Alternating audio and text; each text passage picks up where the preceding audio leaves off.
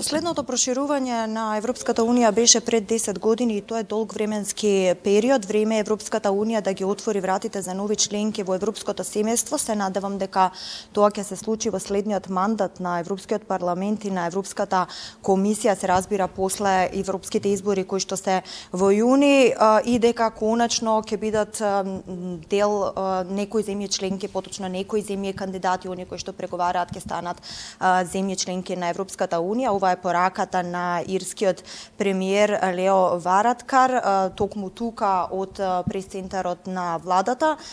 Токму Ковачевски го нарече Вараткар еден од најголемите поддржувачи на европските интеграции на Македонија, кажа дека е еден, може би еден од најголемите пријатели со оглед на тоа дека токму ирскиот премиер на секој европски совет бил најголем поддржувач на на Македонија.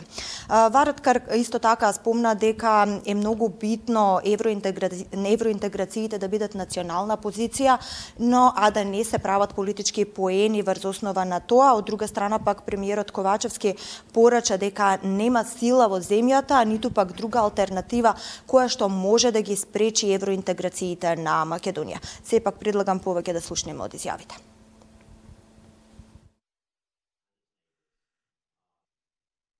Не би сакал да навлегувам во деталите за тие предлози.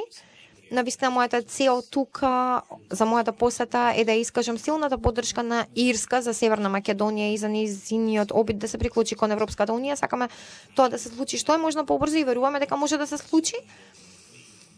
А, ќе имаме нов Европски парламент, нова Европска комисија оваа година и навистина би сакал ова да се случи во мандатот на следната комисија и на следниот парламент. Сметам дека тоа е можно, ќе бара многу работа тука во Северна Македонија, но ќе бара и соработка и помош од другите европски држави. Но секако би сакал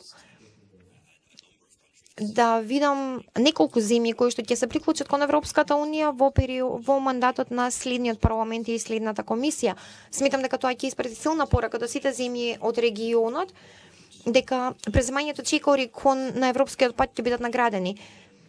Можеме да сме сигурни дека нашите граѓани и идните генерации ќе живеат со Европската унија горди што се македонци со крената глава, со македонски јазик, со македонски идентитет.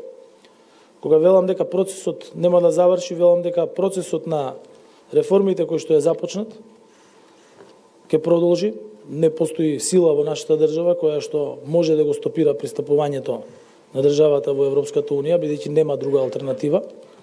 И тој процес ќе финишира со зачленување на Северна Македонија во Европската унија во мандатот на следната влада 2024 до 2028 година која што ќе биде повторно проевропска влада и која што земјата ќе ја внесе во Европската унија.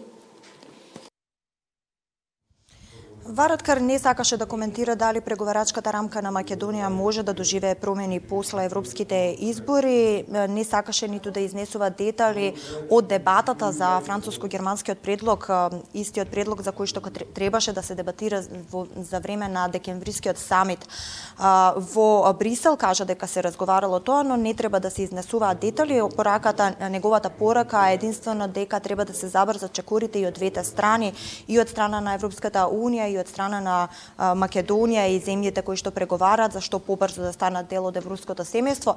Во однос пак на корупцијата, на прашање до Вараткар дали какви како ја коментира високата корупција во земјата и кој е неговиот совет, поточно советот од Ирска како земја членка, тој само кажа дека корупцијата е борба која што на некој начин нема крај, која што е постојана борба и дека корупција има дури во земји членки на Европската унија. Тука се надоврза и Ковачевски, ги спомна коруптивните скандали во Европскиот парламент, но исто така Вараткар кажа дека Ирска стои на располагање како и тој да помогнат во однос на реформскиот процес на земјата за што побрзо да стане Македонија земја членка на Европската унија.